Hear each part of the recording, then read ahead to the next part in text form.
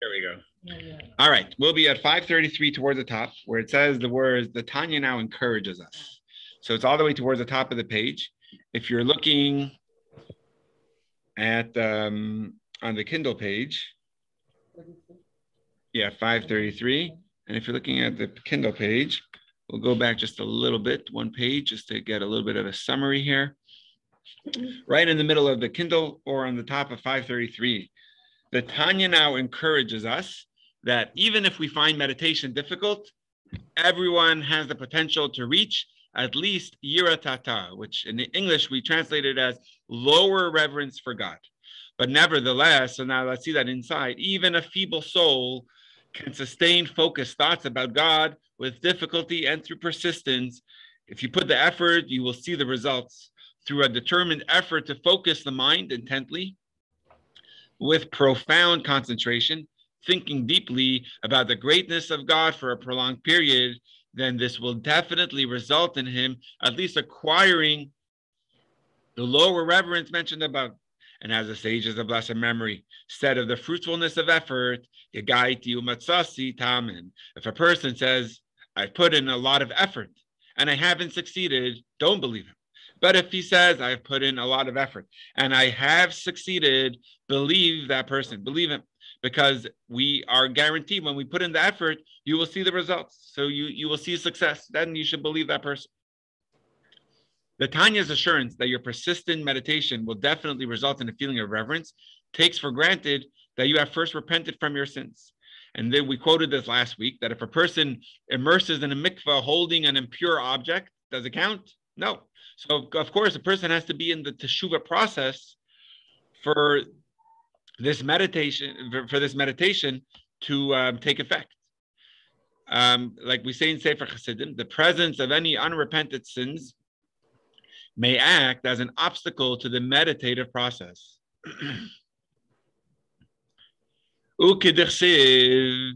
oh, let me just say in the English, an inspiration for sustained meditative efforts can be found in the verse, and this is from Solomon in the book of Mishlei in Proverbs. If you seek it like silver and search for it like buried treasure, then will you understand the reverence of God? Meaning you have to put in the effort like it's a treasure, and you will see the the uh, you'll you'll you'll seek it out. You'll find it. Meaning that just like a person searching for a buried treasure, hidden in the depths of the earth, will make a huge effort digging for it, since he knows that it's definitely there. In the same way, you must make a huge effort to reveal the fear of heaven, which is treasured and mm. hidden well away. Where is it hidden? In the depth of the understanding heart. Like it says from Pirkei Avot, the ethics of the fathers, of every person in Israel, since you know that it's there.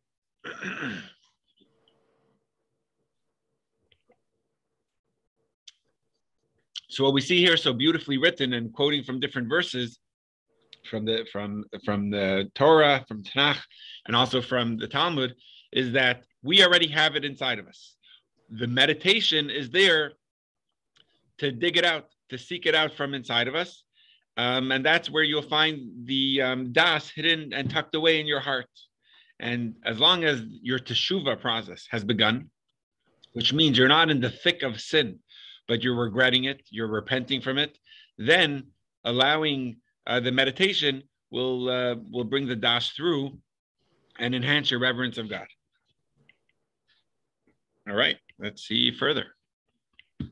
The verse in Proverbs, which is Mishlei from Solomon, if you seek it like silver and search for it like buried treasure, suggests that reverence of God is not something that really needs to be acquired. It just needs to be discovered. It's hidden inside you like a buried treasure, and you will find it if you dig and search hard enough by means of the appropriate meditations. The verse promises that if you dig effectively, then you will understand the reverence of God, which the Tanya interprets to mean an, an unearthing of the understanding heart of every person in Israel. So again, it's it's an interesting, you know, not again, but let's let's just explain this. Usually, understanding you would you would correlate that with your mind. When your mind understands something, ah, you got it. But over here, we're calling we're calling it a binat halev, an understanding heart, because that's the ability of das, is not only to um, uh, trigger the mind into it, but it transfers it to the heart, to the feelings. So therefore, it's called an understanding heart. Usually, understanding and heart don't go together. Understanding is in the mind, and feeling is in the heart.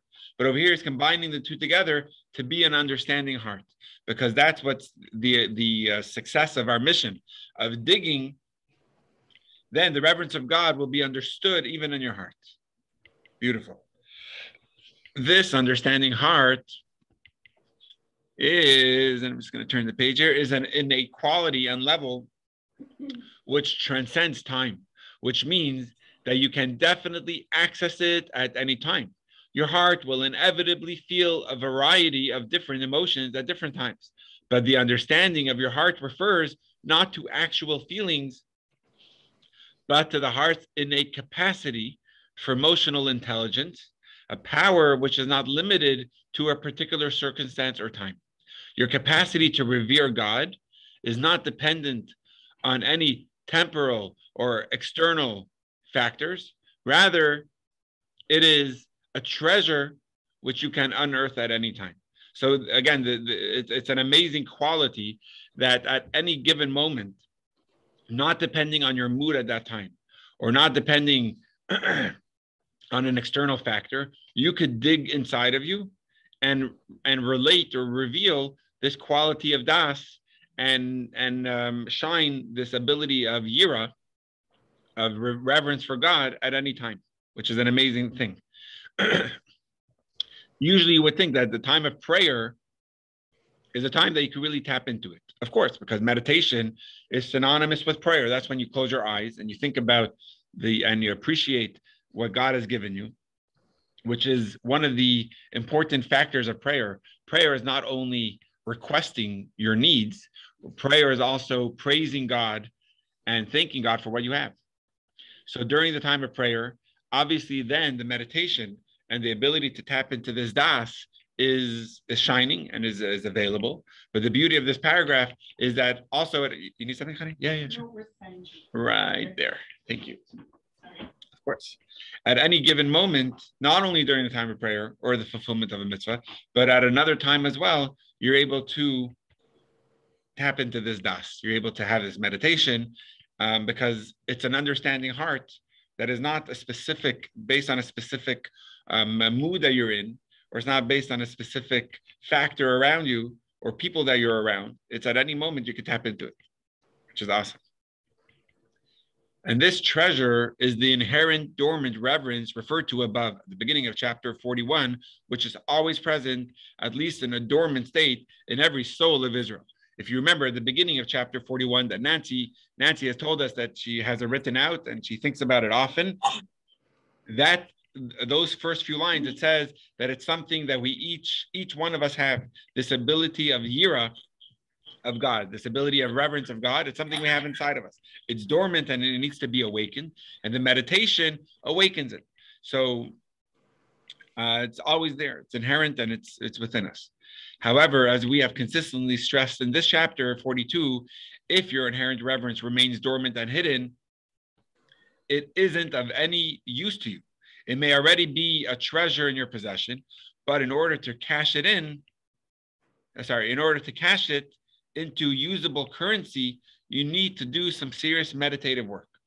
Only by nourishing your das will you be able to access your dormant reverence and begin to actually feel it. So you have it inside of you, but unless you use it, unless you cash it in, it's worthless. How do you cash it in? By using your das through meditation and then awakening this reverence. And then you can feel it inside of your heart.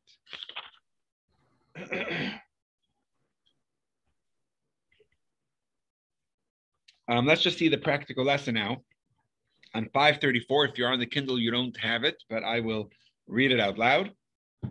It's just a few lines and it goes like this. Even if you don't find it easy to focus your thoughts, with a determined effort, you will succeed. Imagine you were looking for a hidden treasure that you knew was there. You would give all the effort you can to find it because you know it's there. So knowing that the, the yira is inside of you, if you dig, you will find it. and the put in the effort, the meditation, and the time, and you will see it. All right, the bottom of the page of 534 and also the bottom of the Kindle page.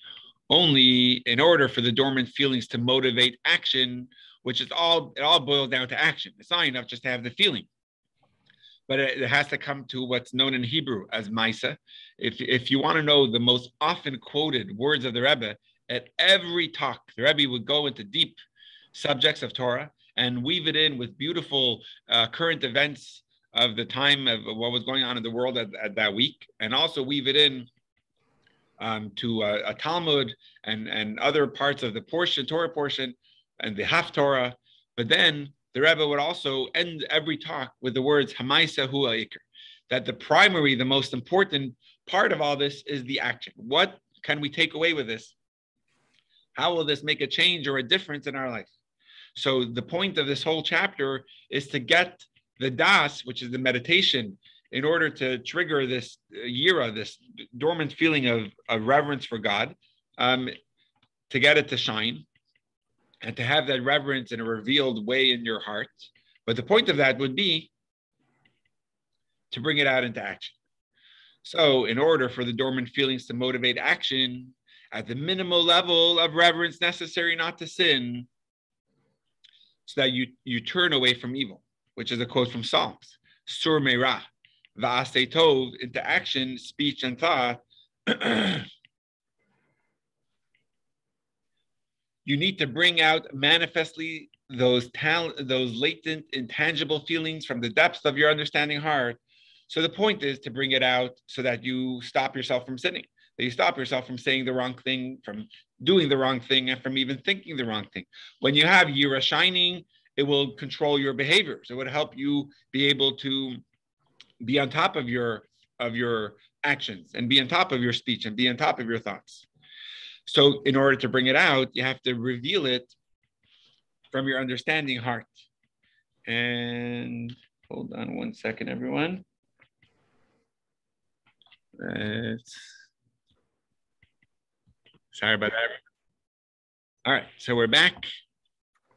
So I, I love this paragraph where the point of this this whole yira, this whole meditation, is not just to feel good. The point is to do good, to stop from doing bad. And every day we have feelings in our heart that tell us to do a certain thing or to say a certain thing.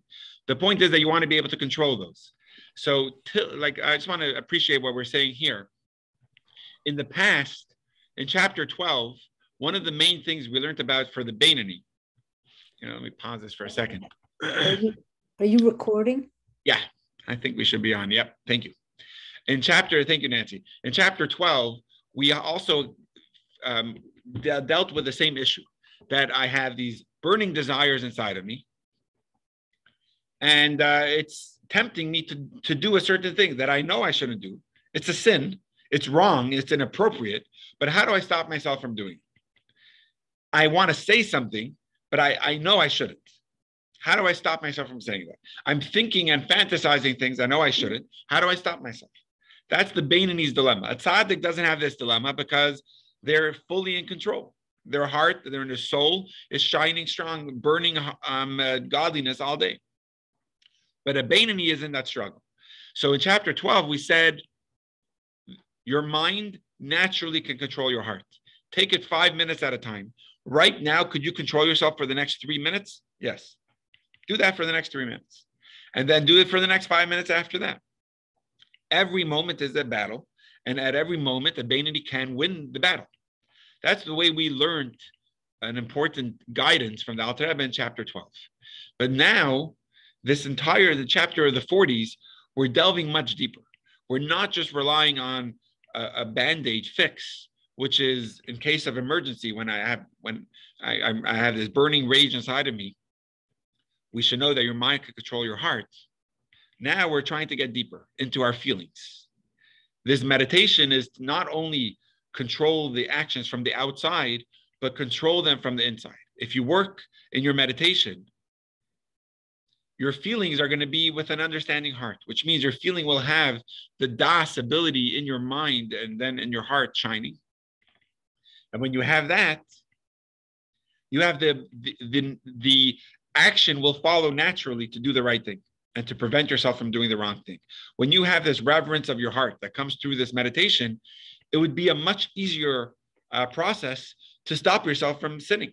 Sin might come up, it might be knocking at your doorstep, but you could look at yourself in the mirror and say, "No, I have a relationship with God that I don't want to, um, um I don't want to have in, in jeopardy." So that's the beauty of these chapters over what we learned about in the beginning of Tanya, where the beginning of Tanya was more a battle that is raging. And at the moment, before you're working on your insides, you have to put a fix on the outside. The fix on the outside is the band aid, realizing that you can control your heart at this moment right now. You can control your actions, your behavior. But in these chapters, we're talking about the meditation, which means we're working on the inside, the soul powers inside of us. And when you're working on the inside, the outside flows a lot, a lot more natural. And therefore, your action, your speech, and your thoughts will be in line, your behavior will be in line with the feelings that are in your heart, because the feelings now are filled with a reverence for God that comes as a result of this meditation. All right, let's see that a little more. So that's where we're really we're tapping into it. This is where it boils down to the action part. What's the point of this whole meditation is that my action should follow. So let's see that we're really at the bottom uh, line of the Kindle page. And it says this You need to bring out manifestly those latent, intangible feelings from the depths of your understanding heart, which transcends time, and make them conscious, if not as palpable feelings in the heart, then at least as tangible thoughts, thought in your brain. And then you need to ponder these ideas deeply in conscious thought for a substantive period of time until this potential produces actual results, namely to turn away from evil and do good. In Hebrew, the words are sur meirav tov in thought, speech, and action. And this very basic level of your motivated of your motivated not out on basic level, you're motivated not out of a profound reverence of and feeling for God, but merely because of the God who watches and, see, and, and sees, hears, and is attentive to and understands, which we say that in the high holiday prayers, all of your deeds. And he's checking your inclinations and heart. And as in the teaching of our sages of blessed memory, consider three things and you will come, you will not come to sin. Don't know what is above you. A seeing eye, a hearing ear, and all your deeds are recorded in a book. So nowadays, this last line is known as Amazon Alexa, where or or Apple Siri, where everything you say or Google, uh, Google um, Google Home, like all these things that you have in your home now, that basically is listening to everything around you. You have a seeing eye, a hearing ear, it's your ring doorbell or your nest, whatever feature you use in your homes. But all these smart devices is reminding us, like what the Mishnah tells us 2,300 years ago, that all your deeds are recorded in a book. So obviously over there is talking about in the heavenly book of records. But if you realize it doesn't take a deep uh, profound reverence. Over here, we're talking about the basics, the right? The lower level of reverence, realizing that there's a seeing eye, a hearing ear, everything is recorded. That itself should be enough to motivate you into doing the right thing. Um, okay, let's see this beautiful Hasidic thought at the bottom. I was born with an innate capacity to revere God, which is always present in the depth of my soul. But to access that capacity, so that I can actually worship God with some real, real feeling, I need to make use of my das, which is my ability to take something abstract and make it tangible. In this task, I will be assisted by the energy of Moshe's soul, which I can access both directly, which means through the das that I possess inside of me, and through the sages of my generation that have this direct link and connection to Moshe. When I apply my das effectively through rigorous meditation, I can be assured that at the very least, I will acquire a basic feeling of reverence necessary for proper worship, that God is watching me and I don't want to disobey him while he's watching. So if I recognize and I realize that God is watching, I don't want to disobey God when he's watching me. So this is a beautiful summary of everything we learned about in this chapter, where I have the ability of revering God inside of me. Don't think it's something you have to find outside of you. It's something you already possess inside of you. You just have to dig and you find that treasure. And when you dig, how do you dig deep? Through meditation. What will you find? You will find this ability of das, which means to take what seems just as abstract and really make it tangible. And how do you do that? You could do it because you have the Moshe inside of you, the ability of Moshe nurturing the das that you have, and also the das that you receive from the leaders by connecting to the leaders and studying from the teachings of the leaders of that generation. And when you do that, you will recognize that God is watching over us. And as we as we quoted at the beginning of chapter 41, God is putting everything aside. God has all the worlds that He created with, with all the levels inside of all the worlds, but God is checking you to see if you are serving Him properly. And when you think of that, that God is watching over you, that reverence will shine and it will be able to control your behavior to be doing the right thing and preventing you from doing what is inappropriate, the wrong thing. Okay, any questions before we go further? awesome. Okay, cool. I, I have a question, uh, Rabbi. Rabbi, a couple things. You know, when in, in 41, when when we read everything that you, I do, matters to Hashem. Um, to me, that is a, a nice way, shall I say, of saying you know, check my own uh, conduct, my thought, speech, and action uh, in a different way than, um, you know, what you were talking about, about uh, Nest or whatever, listening to me. It's as though uh, because I have that innate ability inside of me to realize that God is all powerful he's everywhere. He wants to have a personal relationship with me and he wants everything i do matters to him. To me that is a, a beautiful way of saying um, you know you have the ability nancy to check yourself. Whether you do it or not you have the ability to check yourself because everything that you do nancy matters to hashem. To me that that and that meditation i mean if i do that meditation as you say frequently through the day to me, it's not, oh, he's watching over you and don't be a bad person. It's that innately, I would know that because I have this relationship, I desire to do good, not because I think I'm going to be punished, right. but because of, of a desire. Can you can you uh, mesh these two ideas together? What we learned in 41, what we're learning in 42. I think you just explained it so beautifully. That is that is the right way of doing because of the desire to be connected with God. But some people need that a, a little more.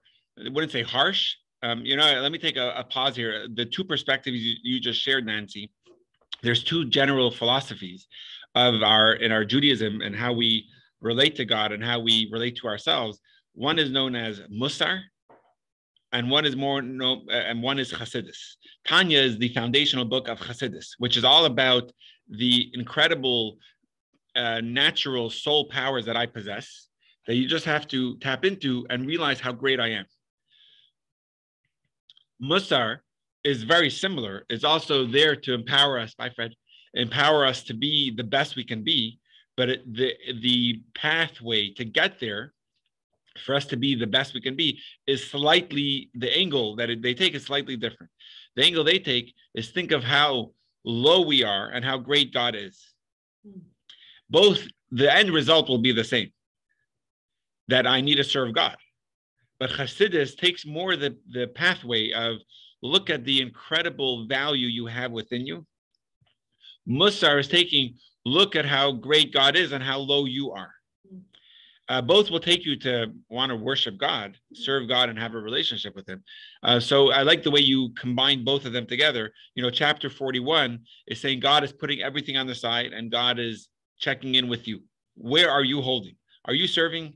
Are you in a relationship with me? Do we have a healthy relationship? And that's something that you have to check in. Where am I holding in my relationship? Over here, I'm not saying one is more than the other in terms of this pathway or not, but you know, combining them together is really beautiful. That um, the eye that that that hears, sorry, the ear that hears and the eye that sees is more almost I wouldn't say intimidating, but it's it's uh it shakes you into into good behavior, realizing oh, and just like we all know, right? I think we quoted from from Rabbi Yochanan ben Zakkai, one of the greatest sages who also lived till 120, like Moshe, um, on his deathbed. What did he tell his students when they asked him, "Give us some important teaching before you die. Leave us with something important." What did he say? Do you remember? We learned it, I think, in chapter 39. What, what, did what did Moshe say? Moshe Uh, said, no, Rabbi, Rabbi Yochanan ben Zakkai, he says that you should fear God like you fear mortal flesh and blood, like you fear people. And they said, That's it? That's your whole teaching you're going to give us at the end of your life? And Rabbi Yochanan responded, Halavai, that it should only be so. Like you should actually live up to this uh, level of uh, fearing God as you fear people. Because we all know that when people are watching, you're much more conscious over what you're doing. You're much more sensitive over what you're saying. But when no one's watching, whatever, it's just it's just myself. So if you realize that God is actually watching you there, it has the ability to spring you into better action and behavior at that moment. So I think both are needed. And definitely I like what you said, Nancy. Awesome. Okay, and if you ever want, if you have the book inside, uh, like you have, if you own the book on 535, that little Hasidic thought that we just finished, I find it beautiful to really get a um, a nice meditation going and and um, realize the summary of this chapter. All right, 536, we will continue. This is section three now of 42. We're making our way slowly through the chapter. Um, how God knows his world. So now, till now, we were talking about this ability of das, which means it's us knowing God through this recognition and, and this innate quality we have. But now let's see um, something a little bit deeper. 536, and I did not share the screen yet, so you wouldn't see it on Kindle. Okay. Section three at the bottom. The above quote describes, right, this quote that we just said from the Mishnah, which says that there's an eye that a seeing eye, a hearing ear, and that all your deeds are recorded, the Sefer Nechtavim, recorded in a book. So uh, the above quote describes in physical terms uh, God in physical terms as having a seeing eye, a hearing ear. Obviously, this is a metaphor, since God does not have actual eyes and ears. But if God's eyes and ears are not literal, is the idea that He's watching over us also non literal? Meaning, if it says that God is watching over us, as a follow up to the words that God sees and hears, God seeing and hearing is metaphorical. So what about God watching over us? Is that also metaphorical? Is that also not literal? The Tanya now assures us that this is not the case. While and while God's seeing eye and hearing ear are metaphorical, since God has no semblance of a body, which we say um, uh, from the principles of faith of Rambam, known as the Yud Gimel, the 13 principles, Ikrim. That doesn't mean that God isn't really watching you, but to the contrary, the fact that he doesn't use actual eyes or ears means that his awareness of you is greater. Ah, what does this mean? Our sages hinted to this idea by stating everything is revealed and known before him. The sages could have phrased this more simply and said, God knows. Why did they employ this somewhat cumbersome phrase that everything is revealed and known before him? Like, why the double expression? It could have just said, God knows. As the Tanya will explain, the sages chose this phrase to teach us that God doesn't acquire knowledge in the same way that we do. For us mortals, there is a process. Initially, we lack knowledge about a certain thing. Then we gain access to some information. And after analyzing the information with our minds, we end up with the knowledge, right? That's chachma, bina, and das. That's the process. We don't have it and we acquire it. We gain the information in this in the method of chachma. We analyze information in the method of bina. And then comes the das, which is now we have that knowledge, it's part of us. But this sharp dualism between subject, which is you, and object, which is the knowledge, couldn't be true of God, who is utterly one. God must know everything without having to go through the process of actually some, uh, coming to know it. this is why the sages implied that everything is already revealed and known before him in the past tense. So without him, without him having to actively acquire the knowledge. So this is something it's hard for us to wrap our minds around because we can't relate to it as mortal beings, as created beings. We don't possess this ability to know something before we know it. We only know it once we gain that information. But by God, He is the source of all information. God is the knower, and we'll see soon a quote from the Rambam. Um, so by by by God, there is no process to gain knowledge. So when we say everything is revealed and known before Him, it's written in the past tense because He already knows it. and also, just going back to the point over here, when it says um, that God has um, what was the quote? Hold on. Let's just go back a second. Oh, and all your deeds are recorded in a book. It's saying that God is able to watch us more than just with a seeing eye and hearing ear. Those are metaphorical. But his awareness is greater than we, what we can imagine. Because, and think of it, if God really physically has eyes, which of course God doesn't, there's only a certain amount you could hear. And with our eyes, there's only a certain amount you can see. There's also what you can mm-hmm. see, of course. But by God, that doesn't exist. God knows everything, sees everything, and hears everything.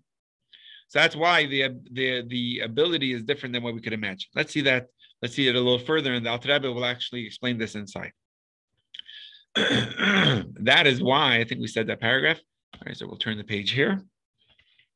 Oh, and while we're on 536, we'll just uh, read that practical lesson, and it says like this The fact that God doesn't have eyes and ears doesn't mean he's not watching you. He really is. That's a simple, short, and sweet one, which most of us know that already if you're already in the Tanya class. Um, okay, we're on 537 at the top, I think. Oh, oh, still at the bottom, 536. Okay, at the Kindle, it's at the top of uh, of the page. And through knowing in this way, God's awareness of you is infinitely greater than, for example, through seeing with eyes or hearing with ears.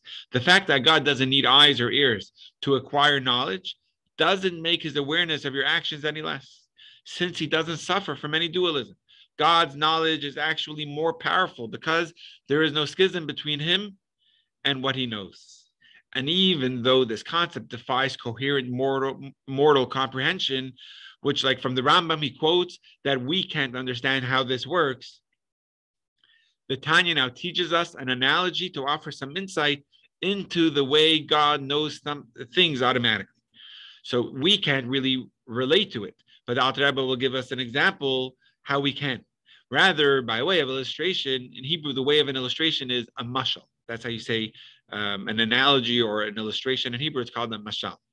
God knows everything not through an active process of acquiring knowledge, but here's the illustration. But like a person knows and feels everything that's happening and occurring in each of the 248 limbs of his body, whether like cold or heat, or even to give an extreme example, heat in his toenail when it's scorched by fire. And so, meaning a person feels even the toenail, which is such a low part of a person, such a uh, insignificant in re- regards to the person's mm-hmm. kidney or his heart or you know his brain, obviously his toenail, but you feel heat or burn on your toenail uh, when it's scorched by fire.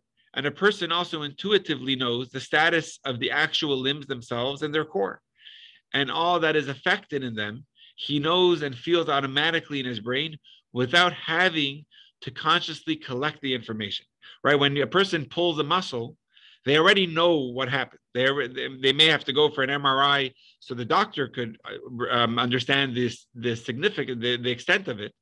And you may have time, have trouble communicating it, but you know something happened to you. You, you feel it intuitively, you know what happened. In a vaguely comparable fashion to this, example of automatic knowing from within, God knows everything that's happening to all the creations, upper and lower. So it's amazing that the Alter Rebbe is able to find an illustration to something that we can't fathom, how God knows something and doesn't have to go through the process of knowledge the way we have to. It's similar to us knowing something um, before uh, uh, intuitively without having to go to the process and focusing on it in order to gain that information. Uh, since the life energy of all creations flows from him, as the verse states, for from you all things come. In Hebrew, the words were kimimcha hakol, and we say, and no creature is hidden from you. We actually say that in um, the high holiday prayers. The world's existence flows directly from God and is intimately connected with Him. That's why He simply has knowledge of everything automatically without having to acquire that knowledge. It's not dissimilar. It's interesting how he uses a, um, a double negative over here. Instead of saying it is similar, he just says it's not dissimilar because it's not exactly the same, but it's just by way of illustration to the way you feel pain in your toe. You don't have to think, I wonder if my toe hurts, and then go and find out. When it hurts, you simply know. So that's similar to how the Rambam, which we'll quote now, how he explains God's ability of knowledge. The Tanya now cites sources from the Jewish philosophical and mystical traditions for the point above, uh, above point. Now we'll see from the Rambam, and then we'll go to other to the Ramak, which is Ramosha Cordovero, who was the um, uh, um, a Kabbalist in the 1500s um, in, in uh, the north part of Israel, buried in Sfas. And it goes like this. As and as the Rambam writes in the laws of foundations of the Torah, in Hebrew, though, that is Yesod Hayesodos, and the Kabbalists have concurred, as stated by Rab Moshe Cordovero in Pardes Rimonim, that from knowing himself, so to speak, God knows all of the creations, since everything that exists in the heavens and the earth and everything in between only exists from the truth of his existence. This is the opening paragraph of the entire Rambam, of the entire Mishnah Torah of the Rambam. He says, so all existence is in part part of him, in a sense, part of him. Everything that exists, it's from the truth of his existence, meaning it's all coming from God. So therefore, everything that that happens is part of him. Ramba, so similar to us and our toenail, we we feel what happens in our toenail because it's part of us. God knows everything happening in the world because everything comes from him. Everything is part of God. Rambam Maimonides writes that since he knows himself, he knows everything. There is nothing hidden from him. He doesn't know by means of an external knowledge that is separate from him, which is, by the way, the way we think. The way, oh, therefore, he is about to say the way we know things, because we and our knowledge are not identical. But for the Creator, may he be blessed, may he be blessed. He, his knowledge and existence are absolutely one. He is the knower, he is the known, and he is the power to know itself, all as one. In Hebrew, the, the word da means know. So there, that's the shorish, that's the root word. But then using it in, in the three terms over here, it's hu amada, hu hayodea, hu hayodua. He is the knower, the mada. He is the known, and he is the power to know itself, because all of it comes from God. And Ramosha Cordovero, or he's known by his acronym of Ramak, similar to the Rambam, who is Ramosha ben Maimon, he's known as um, Rambam. So the Ramak explains a Rambam statement according to Kabbalah. He explains like this The power to know, he writes, corresponds to Keter, an energy that is aloof from the created universe and therefore precedes any knowledge of it. Keter, does anyone know what Keter means? Shira, do you remember? Very good. Shira um, uh, said that Keter is the crown. The crown, like we learned about before, goes above the head. So the energy of God uh, that's coming from the power to know is actually coming from Keter. That uh, it's above the knowledge. It's the power to know that is coming from a uh, Keter, and therefore it precedes any knowledge. The knower refers to the inquisitive mind of God, so to speak, which is his chachma, his wisdom, and the known is bina, the power through which God acquires real cognitive knowledge. And while all ten sefirot, divine energies, are united with God, Ramak reminds us that there are different grad- gradations in this unity in contrast to the lower seven spheres which connectedness whose connectedness to God's essence will fluctuate the first three, which is Keser, Chachma, and Bina, are united with him in absolute oneness, to the extent that even after they have been emanated and left God's essence, so to speak, wondrous things are said about the unity that the first three are considered as one. So this is a very, very deep paragraph, one of um, the complex issues that is dealt with in Kabbalah. And it's basically the source of it all is about the oneness of God. If you really want to know the and really, you know, let's say let's let's just talk about um, within within people relationships. There's different ways of how people can relate to each other and really unite with each other. One is through music. A person with another person that enjoy the same type of music have something in common, and they they have a deep connection based on the music that they enjoy. They could sit and listen to music together, and the relationship they build by either sitting through a symphony that they both really um, have derived pleasure from listening to that music, or just li- uh, sitting at home on their couch, but listening to music together that they both enjoy. They develop a very deep relationship. A little bit of a lower one is a, is a, is an enjoyment of food. If two people enjoy the same type of food together, and they enjoy and sit around the table and eat it together, they bond over the food, and because they have both pleasure in this type of food, but obviously the musical enjoyment and pleasure is a much deeper and more developed type of pleasure, and therefore the unity, the bond, is going to be a lot deeper of a bond as well.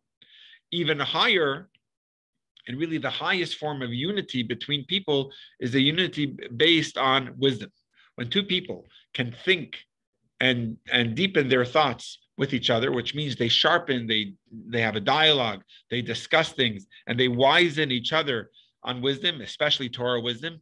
The bond that they're able to build is even deeper than anything else. When two minds click, it's even higher than when when um, two people click over music or over food, because the the bond built in wisdom is deeper than any other. Over here, we're saying something else. We're saying that within God's ability of wisdom, which is God's chachma and God's bina, the soul power is within God, the sefirot. Chachma and bina, which is the knower and the known, and also the power to know, which is going to be keter. All of those of three levels of God are all truly one within God. Those are united um, or to quote from the Ramak, from this Kabbalist, he says, wondrous things are said about their unity. So this is obviously deep ideas. We don't have to get too much into it. It's not really part of the text, but it's just based on the Rambam that is saying that God, his ability to know, his knowledge and the and and his existence and and is all one. Um, yeah, it's a, it's an incredible idea. Um, so let's we're going to wrap up actually with just the next paragraph. We're going to stop a few minutes early. Let's see, just to take questions. Of course, all our efforts to explain God, God's knowledge with an example from human experience is fundamentally flawed, as the Tanya will now point out. So the Alter Rebbe did an incredible job, obviously, with explaining this as it, with an illustration of the burn on our toenail that we intuitively know. Similarly, God, who is the source of all existence, knows everything that is happening. And also, we said like the power of, of knowledge that God has, it's all one. But this illustration back in the text of God acquiring knowledge effortlessly, like a person feels his limbs, serves only to calm the ear in an attempt to render the incomprehensible comprehensible. We can't really understand it, but in our attempt to try to make sense out of it, that's the best illustration we could come up with. But in truth, the illustration from man bears no resemblance to the reality of in God whatsoever. Um, okay, I think we will stop here for the day. Uh, we're close to section four, but I have my drum circle guy coming in a minute or two, so I want to make sure I'm there to set up camp. Um, all right, everybody, that was great. Uh, this Shabbos is the yahrzeit of our dear Rebbe, um, it's a very special Shabbos. We're gonna I have to put out still finalizing some details, but we're planning to do something special here for Shabbos. Stay tuned for an email, and um, we'll be in touch about that. So everyone have a great day. Where wherever you are for Shabbos, um, make sure to, if you can, to study a little bit of the Rebbe's Torah. Of course, you can study from the Tanya because all the Rebbe's are connected, and when we when we like we learned from Moshe that all the leaders are connected through Moshe. So definitely you can study from the Tanya. But if you have any of the texts or books of the Rebbe, uh, the Shabbos would be a great time to uh, uh, connect with uh, with the with the Rebbe as well. All right, everyone, have a great day. Enjoy the rest of your Wednesday.